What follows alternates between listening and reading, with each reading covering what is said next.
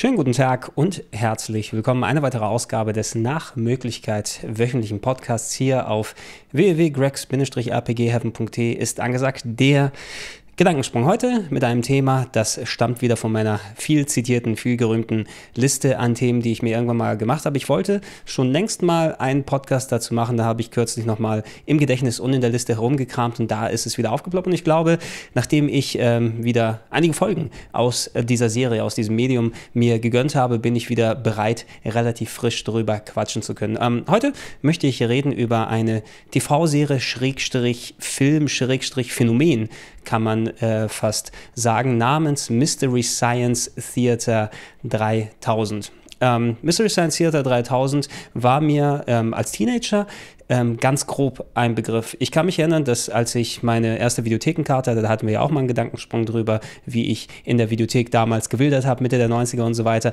Da war eine Kassette dort, äh, wo äh, Mystery Science Theater 3000 draufstand. Ich glaube sogar auf einigen anderen Videokassetten war eine Werbung mit drauf. Und das Ding schien äh, für mich auf den ersten Blick wie, ja, es war ein Film, es war eine Art Space-Parodie. Da war ein Typ mit Robotern auf einer Space-Station und dort sind aller mögliche Sachen irgendwie so schief gegangen und dann haben die angefangen, Filme zu gucken und so weiter. Ich fand das interessant zwar, was, de, was ich dort auf, auf der Kassettenverpackung, auf dem Trailer gesehen habe, aber ich habe mir diesen Film nie ausgeliehen. Ich habe das ähm, nicht äh, wirklich gemacht. Ich habe erst viele Jahre später dann äh, mitbekommen, was das denn ist, aber erst nachdem ich durch ähm, die Lobpreisung des Internets drüber gestolpert bin. Also in den 90ern war mir Mystery Science Theater als Film ein Begriff und ich halte mal kurz hier rein, das ist die DVD, wenn man vielleicht sogar noch original verschweißt, weil ähm, ich hatte es mir damals aus der Videothek ausgeliehen und angeguckt. Diese DVD habe ich beim Wichteln geschenkt bekommen. Ich glaube, der Gegenüber, der mir die geschenkt hat, entweder hat er gewusst, dass ich Mystery Science Theater so gerne mag, ähm, aber noch eben verschweißt, weil ich es seitdem nicht gucken brauchte, weil ich den Film schon 18 Mal gesehen habe vorher. Aber ähm, vielen Dank an meinen unbekannten Wichtelpartner, der mir dieses nette Geschenk gemacht hat. Da oben sieht man es vielleicht kommentiert von Oliver Kalkofe und Oliver Welke, die natürlich heutzutage eher bekannt sind für Kalkhofes Matscheibe natürlich, ähm, seine Comedy-Sendung und äh, Oliver Welke macht, glaube ich, die, heißt es die Heute-Show? Ja, diese Daily Show für Arme kann man fast schon sagen, die Nachrichtenparodie-Sendung. Aber beides natürlich äh, Comedians im größeren Sinne und ich glaube, die beiden sind auch ähm, als Radiomoderatoren lange Zeit unterwegs gewesen und äh, haben dementsprechend Ahnung von Comedy und vor allem eben von Humor in ihren Stimmen her. Und das ist es, was diesen Film ausgemacht hat. Ich habe den Anfang der 2000er dann ähm, mal sozusagen zu Gesicht bekommen durch äh, Zufall nachdem ich im Internet immer wieder gelesen habe, oh, wenn ihr Fans von alten Filmen seid, dann solltet ihr vielleicht mal Mystery Science Theater angucken und ähm, dieser Part sieht toll aus und das andere schaut toll aus und ich dachte erstmal, hm, okay, wovon reden die denn eigentlich? Also das, was ich von Mystery Science Theater mitbekommen habe, ist dieser Film, der in der Videothek dort herumhing, aber die sprechen auf einmal von ganz, ganz komischen Sachen, die jetzt nicht dort hätten sein können, von, von irgendwelchen Professoren, die dort aufgetaucht sind und Affen, Leuten in Affenkostümen und dies und jenem und all. Und ich habe dann rausgefunden, Mystery Science Theater war nicht nur ein Film und äh, überhaupt was für eine Art von Film ist, das werde ich gleich nochmal erläutern, sondern Mystery Science Theater war eine TV-Serie, die es in den USA gegeben hat. Die ist gelaufen von Ende der 80er bis Ende der 90er für ähm, zehn plus Jahre, kann man sagen. Zehn reguläre Staffeln gab es, plus eine vorher, die noch im lokalen US-TV gelaufen ist, also bevor die dann einen vernünftigen Fernsehvertrag bekommen haben und da das Konzept noch ausprobiert haben. Es gibt rund pro Staffel an die wie viele sind es? 12, 13, 14 Folgen. Also man hat theoretisch hunderte von Folgen, die man gucken kann. Mystery Science Theater hat während der Jahre, während es ausgestrahlt wurde, mehrfach dann ähm, den Sender gewechselt, den Sendeplatz, den Kinofilm in der Höhe der Popularität sozusagen in den USA gemacht und teilweise, nee, nicht teilweise, einmal sogar so ziemlich komplett die Cast ausgetauscht, die dann vorher im TV gewesen ist. Ja, Mystery Science Theater als Konzept sind sogenannte Riffs nennt man das. Nicht die Riffs äh, bei der Gitarre, ja, wo die Leute dann Musikinstrumente in die Hand nehmen und dann entsprechend äh, dann äh, ordentlich darauf abgehen, sondern Riffs im Filmsinne ist erst etwas, was äh, mir eher ähm, als was bewusster, was ein Kumpel und ich einfach mal so gemacht haben aus Spaß, nämlich ähm, man schaut sich irgendetwas an, eine TV-Sendung, einen Film, whatsoever und dann fängt man dann zwischendurch einfach mal irgendwelche dumme Sprüche zu machen und drumherum zu labern. Ja, irgendein äh, Charakter im Film sagt einen Satz und dann lässt man hinten dran noch irgendetwas Abfälliges darauf folgen, hahaha und so weiter. Ich kann mich sogar noch sehr, sehr gut erinnern, dass wir irgendeine dumme TV-Sendung mit dem Kumpel zusammen seinerzeit ähm, haben wir einen Radiorekorder aufgemacht, äh, nicht aufgemacht, angemacht, dass der aufgezeichnet hat und wir haben einfach angefangen, unsere dummen Sprüche dann da drauf zu laden. Wir dachten, das ist das Lustigste von der Welt. Ich habe leider das Tape nicht mehr und ich weiß auch nicht, zu welcher TV-Sendung das dazugehört hat, aber wahrscheinlich was ganz, ganz schrecklich. Wir haben es nur für ganz lustig gehalten. Ähm, Im Endeffekt, wenn ihr sowas wie sinnlos im Weltraum vielleicht gesehen habt, was, okay, nee, das ist nicht ganz Riffing, weil dort wird ja drüber synchronisiert auch noch und komplett die Texte eben abgeändert, aber das Riffing ist eben, es erhält die Tonspur, aber es füllt die Teile zwischen dem Gelaber sozusagen mit, mit Kommentaren, mit Bemerkungen, mit Witzen sozusagen auf, als wenn wirklich die Leute ähm, entweder vor dem Fernseher sitzen und drüber laben oder das, was Mystery Mystery Science Theater ganz berühmt gemacht hat, die Kinovariante. Ja? Ähm, bei Mystery Science Theater ist eben nicht so, dass man irgendeinen alten und äh, nach Möglichkeit wirklich schlechten Film, ja, der zur damaligen Zeit, also Mystery Science Theater behandelt sehr, sehr viele alte Sci-Fi, Trash-Klassiker oder auch irgendwelche Sicherheitsfilme aus den 50ern, wo gezeigt wurde, die Gefahren von, von äh, Stahlfedern, dass man aufpassen muss, dass die einem nicht ins Auge springen und man soll möglichst viel Sodium zu sich nehmen. Das gab es ja auch solche ähm, so, so Safety-Filme, die im Kino gelaufen sind, die für damalige Zeit wahrscheinlich okay waren, aber mittlerweile sehr, sehr veraltet und unfreiwillig komisch wirken. Ähm, es gibt eine Silhouette, man sieht diesen Film vorne und es gibt die Silhouette unten von den Kinosesseln und da sieht man tatsächlich die Charaktere, die Stimmen, ähm, die dann äh, die sich über den Film lustig machen. Das ist dann meist ein Dreiergespann zwischen einem Menschen und zwei Robotern, aber im Grunde sind es dann zwei Menschen, die Puppen und so weiter dort bedienen, die sich diesen Film angucken und dann an den korrekten Stellen wie im Kinopublikum rufen, hey du Spacken, ne, aber eben nicht einfach spontan hingeworfen, die ganzen Kommentare, sondern die sind dort vorgeschrieben und gemacht. Ja, und währenddessen sieht man eben unten diese kleinen Silhouetten, das hat jeder gesehen. Schaut euch das Vorschaubild alleine dieses Podcasts dann an. Da habe ich die Silhouetten auch einmal verbaut, weil die sehr, sehr berühmt sind. Wir haben, glaube ich, auch bei Game One einmal ähm, so äh, das Mystery Science äh, Theater Konzept dann äh, bildmäßig auf irgendeinen Beitrag gezogen. Ich weiß leider nicht mehr, welcher es gewesen ist. Muss einer der frühen Uncharted oder so dann ähm, gewesen sein. Äh, davon hatte ich eben gehört, dass dieses Konzept da da war und ich habe gedacht, ey, das hast du selbst ja ganz gerne gemacht. Mal sehen, wie das ist, wie das das funktioniert. Und den ersten Film, den ich mir angeguckt habe, war tatsächlich eben der Kinofilm. Ja, ich habe mich nur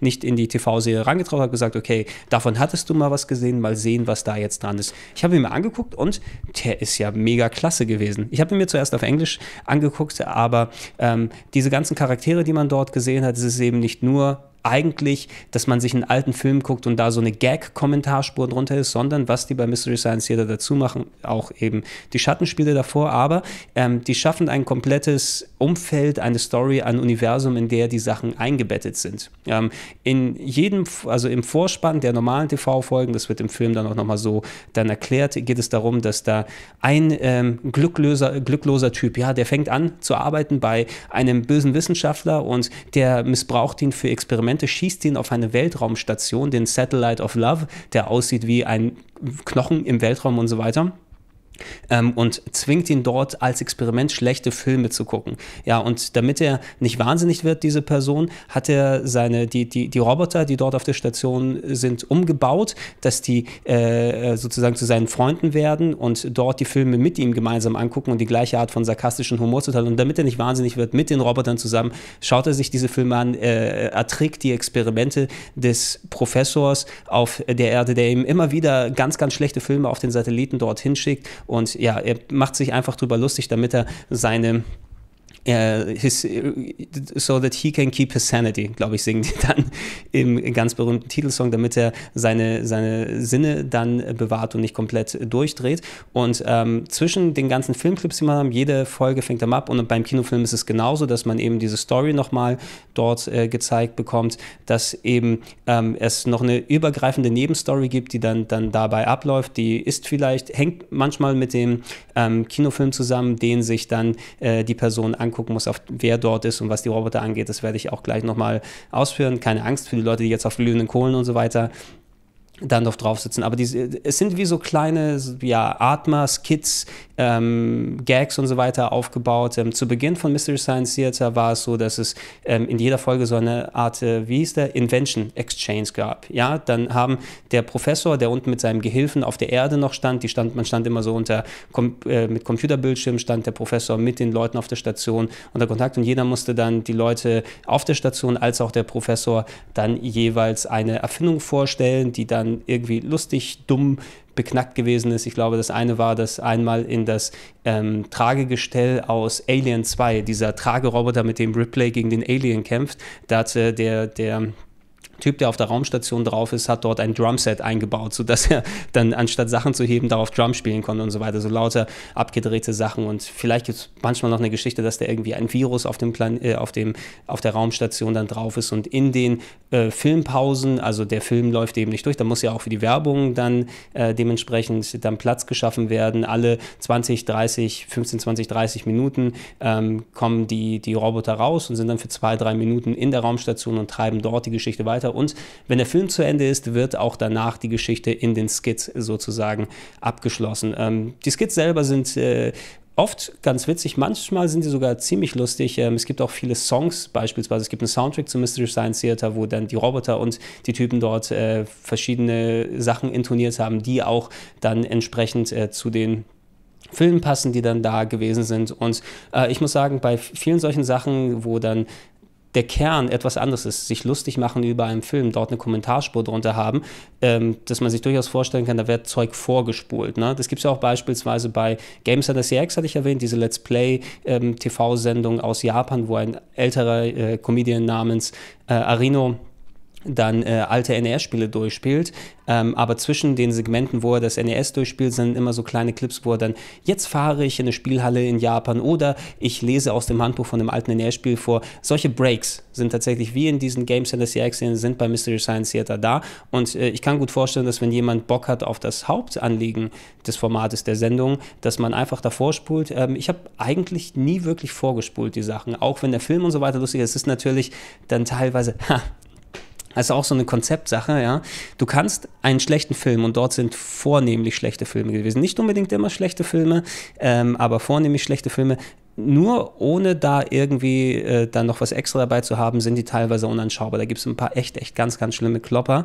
Aber auch wenn du die Gags da machst, natürlich ist es lustig und so weiter. Diese Breaks sind fast schon notwendig, finde ich. Ne? Weil so 90, 95 Minuten, zwei Stunden am Stück äh, sich da durchäumeln, das wird relativ schwer. Lass uns mal ein bisschen auf die Person hier eingehen. Ich habe es beim Film hier schon erwähnt und da sind Oliver Kalkofer und Oliver Welke, die die Synchro-Stimmen sozusagen übernommen haben. Aber eigentlich sind es zwei Trios gewesen, die äh, äh, im Laufe der TV-Serie auf der Raumstation dabei gewesen wären und äh, nochmal ein Duo und ein Trio dann unten auf der Erde, die dann interagiert haben.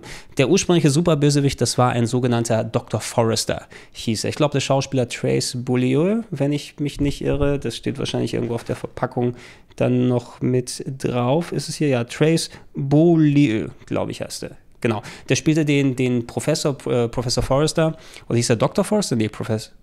Dr. Forrester hieß er, ne? Ich bin mir nicht ganz sicher, aber Forrester war es auf jeden Fall.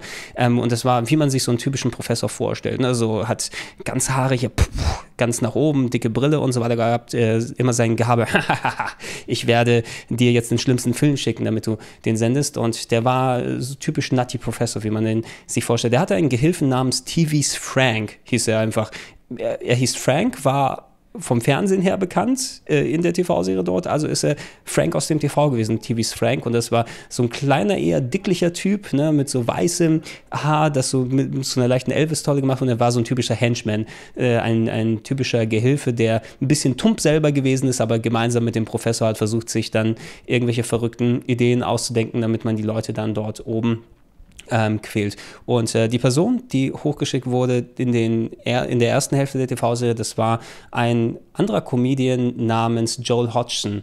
Ähm, Joel Hodgson kann man sich vielleicht äh, so vorstellen, der ist innerhalb der Serie auch äh, der gewesen, der dann einen roten Jumpsuit dann dort anhat. Der wurde laut Intro der TV-Serie dazu ange, äh, äh, angeheuert von Forrester, damit er sauber macht, ja, äh, auf der Deep 13 Bösewichtsstation sozusagen. Und dann hat der Professor gesehen, oh, diesen Demlag wird keiner ver vermissen, dem packen wir eine Raumsonde äh, und schießen ihn oben auf den Satellite of Love, um ihn für Experimente zu missbrauchen. Joel Hodgson war ein Comedian, der äh, bereits von sich reden gemacht hatte in den 70ern und äh, 80ern. Das war ein sogenannter Prop-Comedian. Ja? Der hat irgendwelche Tools oder lustige Bauten oder sowas gemacht und hat dann nicht nur klassischen Stand-up gehabt, sondern er hat diese Items dann nach vorne gestellt. Man kennt das vielleicht dann heute eher eher, ja okay, heute ist schon fast schon weniger sowas wie Carrot Top, haben vielleicht einige mitbekommen. In den 90ern war der ein bisschen bekannter äh, in den USA, der immer mit so gebauten Sachen dann und dann visualisierte Gags gemacht hat, wo er eine Truhe hatte und Sachen rausgeholt hat.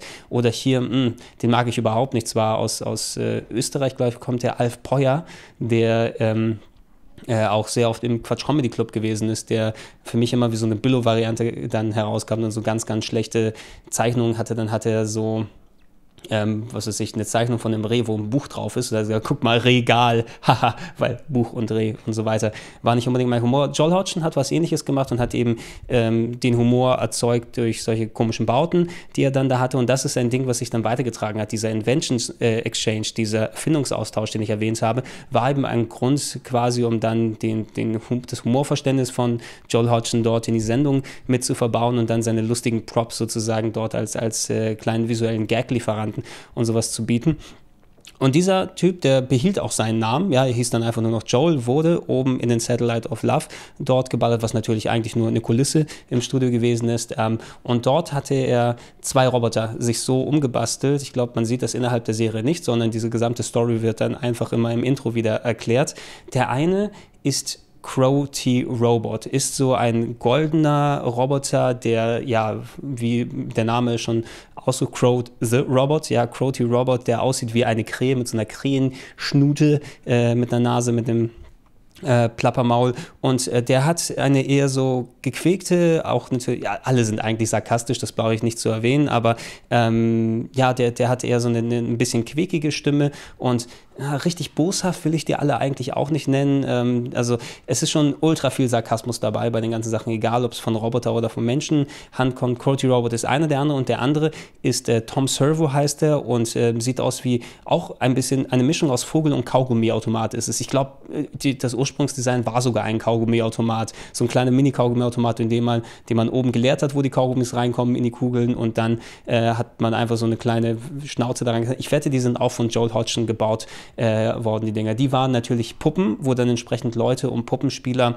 von unten der Bühne, die dann bedient haben und die Ärmchen dann so äh, gewackelt haben. Und äh, die Leute, die Puppenspieler, haben dann auch dementsprechend die Stimmen dann übernommen, die, der Roboter. Tom, Ser äh, ähm, Tom Servo wurde gesprochen zuerst von ähm, Kevin Murphy, der ähm, nicht als anderer Charakter in der TV-Sendung aufgetaucht ist, aber Crotty Robot wurde von Trace Beaulieu auch gespielt und gesprochen, der den, den äh, Dr. Forrester oder Professor Forrester, ach, der den Forrester sozusagen gespielt hat. Und das habe ich auch erst gemerkt, nachdem ich ähm, nochmal nachher recherchiert habe, weil mir war das nicht bewusst, weil es doch, ja, wenn man genau hinhört, klar, es ist die gleiche Stimme, aber es klingt trotzdem anders als der Professor und wenn er als Crotty Robot dann unterwegs ist und äh, sowohl Joel als auch ähm, Kevin Murphy und Trace Beaulieu als die beiden Roboter machen ihre Sache ziemlich, ziemlich super. Also sobald du einmal drin bist, du, du musst nicht mal die Charaktere richtig direkt kennen, aber du kommst relativ schnell rein, wie die dann ticken. Das ist sehr viel so ja, sarkastischer Beobachtungshumor, der sich äh, dann darum dreht, äh, wenn die dann innerhalb der, der Show dann da sind. Manchmal interagieren sie, weil sie ja auch die Schatten unten sind, stehen sie mal auf und interagieren mit der Leinwand und machen da irgendwie kleines Zeug oder so kleine Schattenspiele, die dazukommen. Äh, man sieht immer, da sie wirklich live ihr Skript dann sprechen, wenn der Film drüber läuft, ähm, äh, dass äh, die korrekten Mundbewegungen dann da wären beim Roboter. Also das, das wird wirklich einmal direkt gespielt, das ganze Ding. Und es ist nicht einfach so, dass du einfach nur so einen Schatten-Fake-Computerausschnitt äh, oder irgendwie drauf getrackten Ausschnitt dann hast, sondern die werden da richtig performt und gemacht. Und das funktioniert echt gut bei den Sachen. Ich beim Film selber, ähm, der Film selber ist äh, basiert auch auf dem gleichen Konzept. Da ist aber nicht mehr Joel Hodgson dabei, weil der hat die Sendung nach knapp fünf Staffeln dann ähm, verlassen und äh, wurde, wurde ersetzt oder besser gesagt, ähm, der äh, Headwriter, der Schreiber der ganzen äh, Sachen ist dann an die Vorderfront getreten. Da ist der hier mit dabei.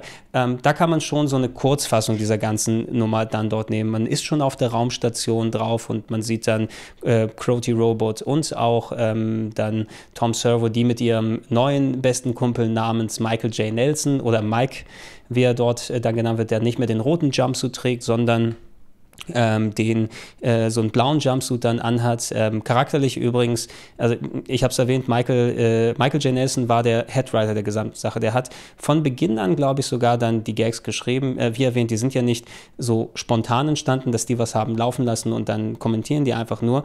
Ähm, der Prozess bei dem, Sache, bei, bei, bei dem Film ist immer, dass ähm, da habe ich mal das in dem Making-of gesehen. Die schauen sich den Film mehrfach vorne an und dann nehmen sie so Timecodes und sehen, okay, welchen Gag können wir machen, welchen können wir dort machen und äh, oder an, an welchem Timing, wie soll dann die Sprache sein, wer soll sich wie wo bewegen. Und da wird ein Skript geschrieben und dieses Skript wird dann abgelesen. Natürlich wirkt es nicht direkt so, dass es abgelesen wird, was dann äh, manchmal ein bisschen dann darunter leidet, in Anführungsstrichen, ist natürlich diese spontane Emotion. Wenn du den Gag tausendmal einstudiert und da gemacht hast, dann ähm, kann auf dem Set oder wenn die Aufnahme dann da ist, natürlich nicht so super viel spontanes Gelächter dann immer mit reinkommen, obwohl immer mal wieder was reinbricht. Ich bin mir sicher, dass einige Leute davon ein bisschen abgetan sind. Das Gute aber daran ist, dass so ein Skript vorab geschrieben ist, dass die Gags on point geschrieben werden können. Da kann man gucken, dass jeder Gag so gut sitzt, wie er sitzen kann.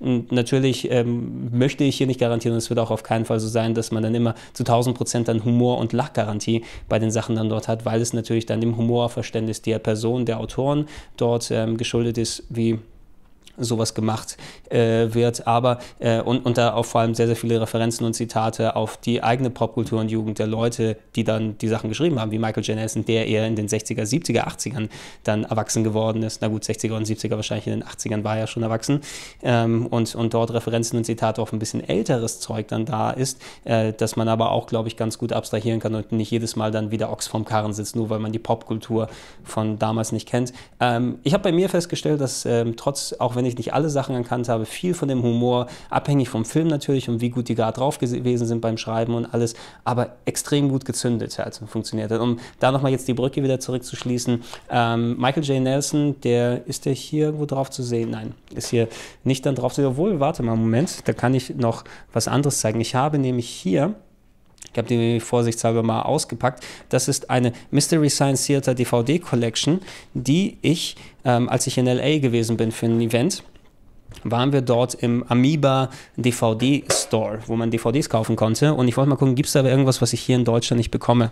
Und dort gab es diese DVD Collection, die ähm, von den 100 plus Folgen ungefähr, Moment, so, von den 100 plus Folgen ungefähr sechs oder sieben dann auf DVD zusammengesammelt hat ähm, und die man dann entsprechend kaufen konnte. Die Box, die ich hier habe, dreht sich um die ganzen ähm, schlechten Godzilla-Filme, die dort ähm, durch den Kakao gezogen wurden. Ich wollte die einfach haben, weil ich einerseits Godzilla-Filme mag und einerseits die ganzen ähm, äh, die ganzen Verballhorn. Ich wollte einmal auch was Richtiges, weil man die hier in Deutschland mit Ausnahme der Film-DVD leider nicht kaufen kann, dann haben. Ähm, hier sieht man zumindest hier unten, da sind auf eurer rechten Seite ist da Crowty Robot und auf eurer linken ist da Tom Servo. Leider sieht man hier weder Michael J. Nelson, sondern nur Gamera. Hier oben drauf schöne Bonusgeschichten, die hier mit dabei sind. Ja, die Jungs selber sind nicht drauf gezeichnet oder hat man hier was? Ne, das sind Bilder der Filme. Aber sehr, sehr schönes Artwork übrigens hier drauf. Also Michael J. Nelson war der Autor ja, wirklich Gedankensprung, ne? schön wild hin und her von einer Idee zu anderen. Ich hoffe, ihr konntet allem vernünftig dann hier folgen. Michael J. Nelson ähm, ist der Autor der Serie gewesen und hat eben die ganzen Gags, äh, zwar hat auch Joel Hodgson da sich teilweise mit dran beteiligt, aber Joel Hodgson war mehr so das On-Air-Talent, der seine ähm, Sachen und, und Ideen mehr in diese ganzen Props dann dort gesteckt hat und seine Art, wie er sich gegeben hat, wie er die Ideen transportiert. Ähm, ich weiß nicht, ob er dann enorm viel so mitgeschrieben hat, aber ich weiß, dass Michael J. Nelson dann die Hauptlast sozusagen getrieben hat. Deshalb ist inhaltlich äh, trotz des Wechsels zwischen den Charakteren zwar auch eine gewisser, äh, gewisse Andersigkeit sozusagen zu spüren, aber trotzdem das gut ähm, erhalten geblieben. Ähm, nachdem Joel Hodgson ausgestiegen ist, äh, Mitte der fünften Staffel, hat Mike übernommen, wurde dann hochgeballert auf den Satellite of Love und hat dann quasi seine Stelle dann übernommen und ähm, weitergemacht mit den Sachen. Ähm, Gag-technisch hat sich ein bisschen weniger verändert, aber es gibt eine große Debatte natürlich unter den Mystery Science Theater Fans. Welcher ist der bessere von beiden? Kann man den einen oder anderen wirklich bevorzugen? Ich muss sagen, ich mag beide sehr, sehr gerne eigentlich. Vielleicht bevorzuge ich sogar Mike hier und da. Es ist ein bisschen, dass, äh, dass, dass entweder Mike oder Joel so eine unterschiedliche ähm, äh, ja, Beziehung, Bindung zu den Robotern dort haben. Ähm, Joel war mehr so ein bisschen der väterliche Typ, ja. Er hat sich um, um Crow und um Tom Servo so fast schon ein bisschen so in väterlicher Art gekümmert, komm, meine Kleine, ich muss darauf aufpassen. Und ähm, äh, Michael oder Michael J. Nelson, Mike, war mehr so wie so ein Bruder oder ein Kumpel. Na, ist so ein bisschen mit der umgegangen. Das sind so sehr kleine oder feine Abstufungen, glaube ich, woran man festmachen kann, wen man wie oder so mag. Ähm, zumindest ein bisschen schade ist es, dass zu der Mike-Ära dann zu Anfang war noch Dr. Forrester und T.V. Frank unten dort, aber ähm, Trace Boleo ist äh, rausgefallen irgendwann aus der Serie und da sind andere Leute nachgerückt. Dann hatte man ein anderes Team dann unten äh, auf der Erde. Ich glaube, dann, die, nee, es hat noch nicht mal mehr auf der Erde gespielt. Dann war ähm, Pearl hieß sie und war es die Schwester von Dr. Forrester oder sowas innerhalb der Story, eine etwas rundlichere Frau, die dann zwei Gehilfen dann mit dabei hatte. Einen äh, Affen im Affenkostüm, weiß gar nicht mehr, wie der hieß, Bobo, glaube ich, hieß der Affe. Und ähm, der andere war ein Alien oder war es der Tod? Der sah so ein bisschen aus wie Onkel Fester oder sowas, der mit dabei gewesen ist. Ich weiß nicht mehr genau, was die Geschichte dann dort war, aber dann statt Dr. Forrester und TV Frank war dieses Drei gespannt, dass dann Mike und ähm, Crotty Robot und ähm, Tom Servo da oben dann äh, verfolgt hat. Das hat dorthin gewechselt die Sachen mit, mit äh, Pearl gefielen mir nicht mehr ganz so wie die mit Dr. Forrester, aber inhaltlich waren die Filme und teilweise die Skits auch selber eigentlich ziemlich klasse. Man findet aus der Mike-Ära genauso viele tolle Folgen wie aus der Joel-Ära und da kann man fast nach persönlicher Präferenz gucken, was man da am ehesten äh, mag. Ja, der Kinofilm fiel dann ähm, erst in der Mike-Ära, das heißt, Joel ist nicht mehr daran beteiligt. Man hat sich ein bisschen mehr Aufwand genommen für die Szenen, die dann auf der Raumstation gespielt haben. Als Film hat man sich den Sci-Fi-Klassiker für den Kinofilm ähm, This Island Earth ausgesucht, den ich als Metaluna 4 antwortet nicht kenne. Und das ist ein klassischer Science-Fiction-Streifen, wo ähm, zwei Personen aus der Erde in einem Raumschiff auf einen Alien-Planeten gebracht werden, der Alien-Planet kurz vor dem Sterben ist und, und dann am Ende dann dafür flüchten. Den habe ich als Kind hunderte Male bestimmt gesehen. Das war eine der wenigen Kassetten, die mein Onkel damals hatte. Und ähm, die habe ich dann immer vor und so, also wenn die zu Ende war, zurückgespult und nochmal geguckt. Und den kenne ich in- und auswendig als Kind. Und ich fand es super flashig, den jetzt in dem Kontext zu sehen. Das ist beileibe kein schlechter Film, aber natürlich bietet genug Potenzial, um dort Gags und so weiter dann darüber zu machen, das ist im Film dann mit drin verbaut und das drumherum, das Raumschiff, die Roboter, die Special Effects äh, sind natürlich um einiges besser als in der TV-Sendung und auch die Sets, die dort dann verbaut wurden, aber jetzt nicht unbedingt äh, auf so Hardcore super Film Science Fiction Niveau. Also ihr werdet jetzt nicht dann äh, im Film dann dort äh, so äh, Effekte Marke Alien oder irgendwie 2001 oder sonst was zu sehen bekommen. Aber es war schon, schon ein netter Sprung, äh, wenn man die TV-Serie vorher kennt und dann den Film sieht. Ich habe, wie gesagt, den Film zuerst gesehen und dann geschaut, oh, es funktioniert ja echt gut. Nachdem ich den auf Englisch gesehen habe, habe ich die deutsche Version entdeckt, die sogar eben, wie gesagt, durch, durch Oliver Kalkofer und Oliver Welke ähm, neu synchronisiert und mit angepassten Gags ist vor allem. Das ist ja das Gute, die Gags wurden nicht eins zu eins übersetzt, sondern es wurden komplett neue Gags geschrieben, die die beiden dann drüber gesprochen haben. Ich glaube, noch ein weiterer Kollege, der dann äh, dementsprechend auch noch mit gequasselt hat und, und die Stimmen eines der Roboter dann übernommen. Das war auch fantastisch. Ja, also auch, ich habe den mit meinen Geschwistern auf Deutsch dann nochmal gesehen und da gibt es einige Sachen, die wir heute noch zitieren. So, äh, wann beginnt das neue Zeitalter? Mittwoch! Äh, ohne Kontext äh, wahrscheinlich ein bisschen schwierig zu sehen, was der Humor so dahinter ist, aber ähm, die Sachen wiederholen wir heute gerne noch. Das funktioniert auch echt gut in dem Deutschen und davon bin ich dann hingesprungen und habe mir nach und nach dann, ah, es ist eine TV-Serie, lass mal die alten Folgen gucken, lass mal die neuen gucken und ähm, das Ding ist, dass ich, äh, heute kann ich das leider nicht mehr so häufig machen, weil ähm, damals habe ich noch nachmittags gearbeitet und dann konnte ich vor der Arbeit vielleicht nochmal einen Film gucken oder sowas und, und dann mich mal kaputt oder scheckig lachen. Das ist schön so Komfort Zeug, weil ich ja eh auch mehr so eine leicht alberne Ader und alberne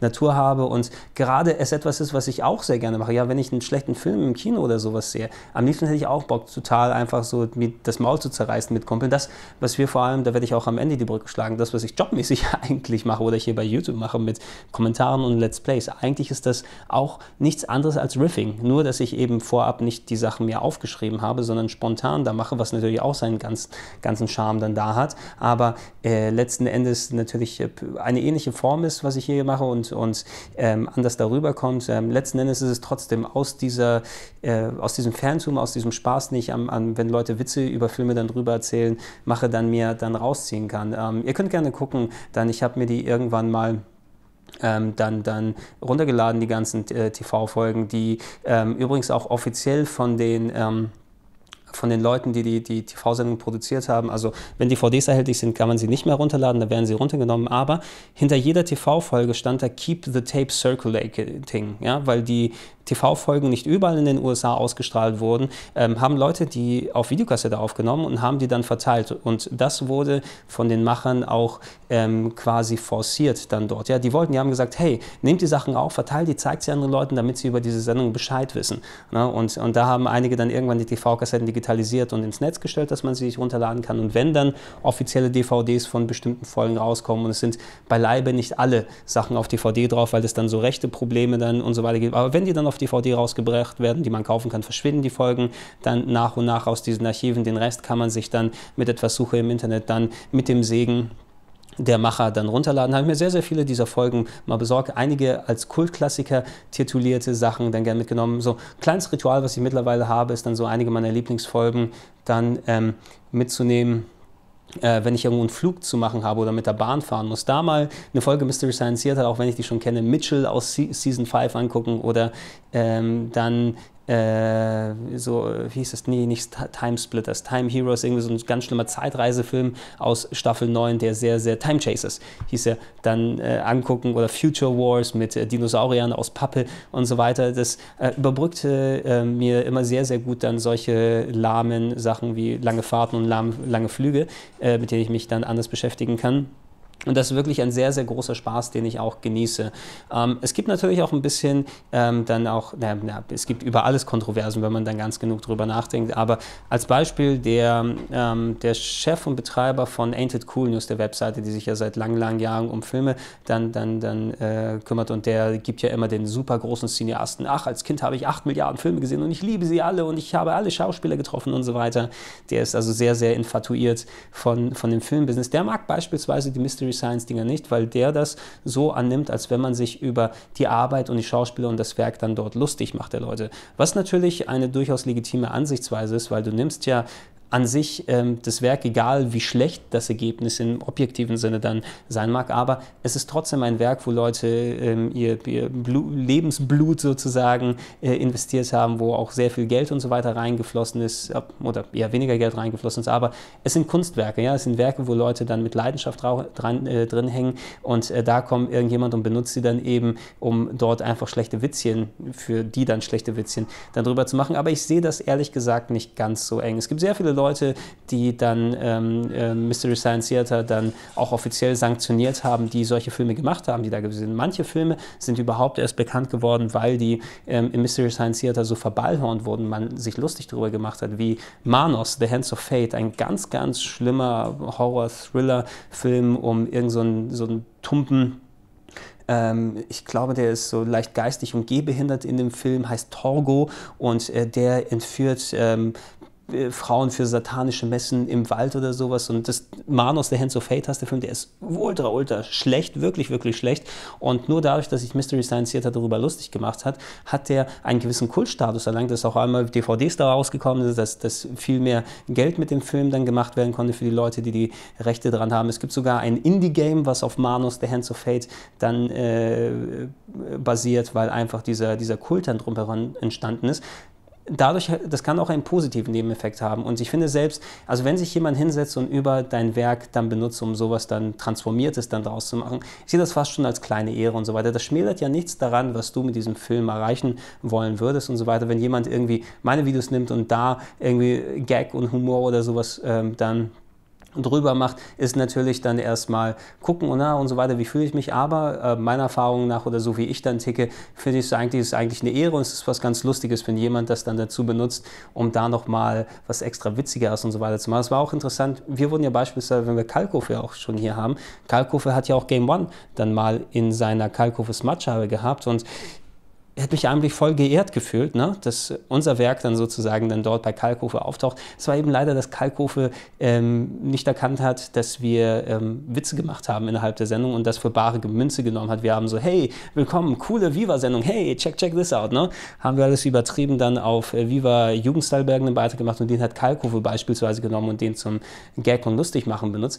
Dann ist es wieder, wenn du nicht verstehst, was die Intention dahinter war, war es ein bisschen schwierig, das dann dort dahin zu gehen. Aber wenn das anders ausgegangen wäre, wenn es neues für Mystery Science Theater gewesen wäre, ich hätte es dann komplett anders dann aufgefasst. Also ich sehe persönlich da weniger das Problem, man sollte da nicht so eng gestrickt ähm, sein mit dem Ganzen. Ja, wie erwähnt, aus dem Ganzen hier, wie diese Art Riffs gewesen sind, ich finde aus äh, die ganze Let's Play-Szene, so wie sie entstanden ist, ein ganz großer Teil äh, kann man äh, wirklich darauf umdenken, dass Leute dann solche Riffs oder solche Sachen wie Mystery Science Theater sie dann gemacht haben, dass es daraus irgendwie mit entstanden ist. Ja, und der Spaß an Kommentaren, an lustigen Gags und so weiter, schaut euch sowas wie Game Grumps an. Ja, das Videospiele eigentlich komplett nur dazu benutzt, ihre eigene Bühne zu machen. Ähm, das beste Beispiel wäre sogar das Let's Play von Phantasmagoria Gloria 2 von Spoonie, was ja eines der besten Let's Plays ist, die ich je gesehen habe, ähm, wo Spoonie auch nicht wirklich spontan die ganzen Gags bringt, sondern viele Sachen dann auch teilweise, er hat sich einmal angeguckt und da an den richtigen Stellen was vorgeschrieben. Ich habe mich so kaputt gelacht dann dabei. Mir hat das so viel Spaß gemacht.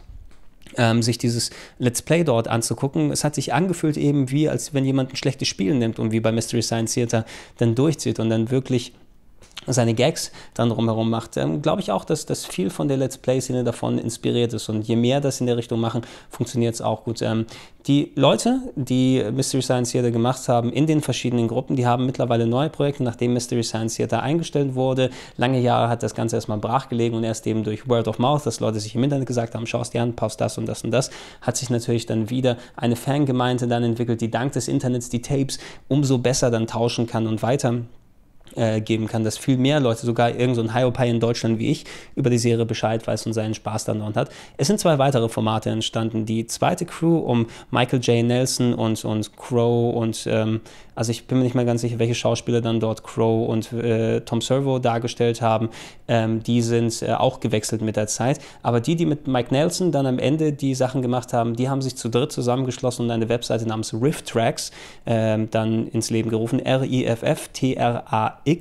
Und dort kann man sich nicht mitfilmen und nicht mit irgendwelchen Schattenspielen unten oder Skizzen und so weiter, aber die machen lustige Audiokommentarspuren für Filme, die man sich für 99 Cent ungefähr dort kaufen kann. Und äh, da gibt es dann so Versionen, ja, die passt auf diese DVD drauf, wenn du die hast, musst du am Anfang gleichzeitig Play drücken auf deinem Computer und dann kannst du den, die lustige Untertitel oder nee, die lustige Kommentarspur von den ähm, Riff Tracks Leuten, von eben Michael J. Nelson und den anderen dann hören und es ist fast wie dann, als ob man Mystery Science Theater hätte. Ähm, der Unterschied dort ist dadurch, dass sie nicht mehr dadurch gebunden sind, den Film nicht mehr dort zeigen, können sie natürlich über alle möglichen Filme dort machen, inklusive sehr, sehr vieler Blockbuster. Und da sind nicht nur schlechte Blockbuster dabei, nicht nur was von wegen Armageddon oder andere Michael Bay Sachen, sondern auch viele gute Filme dabei. Aber da zeigt sich auch, finde ich, finde ich, dass dieses Konzept nicht nur auf schlechte Filme limitiert ist, weil schlechte Filme mit einer lustigen äh, Kommentarspur werden besser. Ja? Gute Filme mit einer lustigen Kommentarspur werden lustig. Ja, es, es muss also nicht zwangsläufig dann da sein. Also du kannst selbst auch als einem hochklassigen Film dann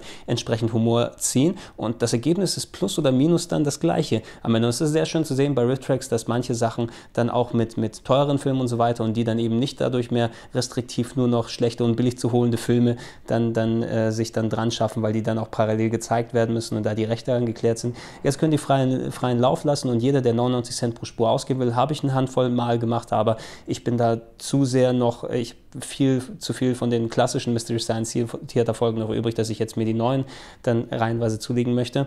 Ähm, man kann es dort machen und ich glaube, die kommen auch allgemein ganz gut an. Die touren sogar teilweise äh, durch Theater und zuletzt gab es, glaube ich, sogar so Live-Riff-Tracks, wenn ich mich nicht irre, dass man das dann zusätzlich machen kann. Ähm, das gleiche oder fast das gleiche Konzept gibt es nicht nur von Riff-Tracks, sondern ähm, die andere Gruppe, die sich zusammengeschlossen hat, die dann ähm, äh, dann Joel Hodgson, eben der Erste, der im Jumpsuit im Weltraum gewesen ist, plus dann ähm, Trace Beaulieu und ich glaube, ist es auch Kevin Murphy oder war Kevin Murphy beim anderen dabei? Zumindest da, die erste Dreiergruppe oder Leute, die dann beim ersten zusammengearbeitet haben, die haben sich als Cinematic Titanic, ja, die cinematische Titanic oder sozusagen zusammengerottet, die eigentlich das Gleiche machen. Ich bin mir jetzt nicht sicher, ob die auch so einzelne MP3s oder Audiospuren anbieten, die man einzeln kaufen kann, aber es gibt zumindest dann so DVDs, äh, wo dann so Audiokommentare dann dann mit dabei sind von denen und quasi, je nachdem, welche Art von Humor oder sowas macht, kann man sich ja fast schon aussuchen, ob man lieber die Riff-Tracks, die neueren Mystery Science Theater Leute haben will oder die Cinematic Titanic, die älteren und so weiter.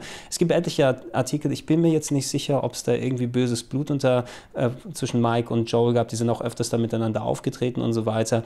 Ähm, gibt es einige Artikel und ich glaube auch äh, wahrscheinlich sogar Bücher, die dann drüber geschrieben und da kann sich jeder ins Thema mal ein bisschen reinarbeiten. Ich habe dann so einen schönen Artikel vor einiger Zeit zugeschickt bekommen, den habe ich noch nicht gelesen, weil der ein bisschen länger war. Den spare ich mir auf, wenn ich mal wirklich einen Nachmittag oder sowas Zeit habe, der einige Sachen dort klären soll, was dort passiert ist mit dem Wechsel und warum man da nicht so viele Schnittpunkte zwischen den beiden gesehen hat. Letzten Endes hoffe ich, weil ich alle Char oder alle Personen, die dabei sind, da echt gerne mag und ins Herz geschlossen habe über die Zeit mit der TV-Sendung hier, ähm, dass die am Ende sozusagen so zusammenkommen und äh, im Endeffekt jeder für sich selbst Spaß haben kann, Spaß rausziehen kann und äh, im Endeffekt äh, dann nicht irgendwie im Nachhinein sich, ach, die haben sich während der Sendung alle gehasst, also haben wir keinen Spaß mehr. Also ich glaube, das ist dem nicht so.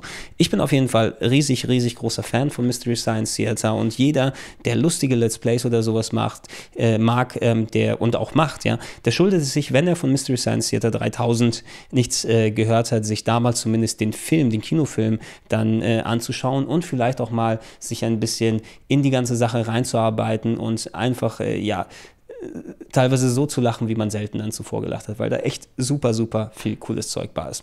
Okay, wild hin und her ist es gegangen, aber ich glaube, ich habe alles über Mystery Science Theater gesagt, was ich sagen wollte. Ich bedanke mich, dass ihr so treu dabei gewesen seid und ich hoffe, ihr seid bei der nächsten Ausgabe des Gedankensprungs wieder am Start. Ich war der Gregor, ich sage ciao, ciao und bye bye. Bis dann.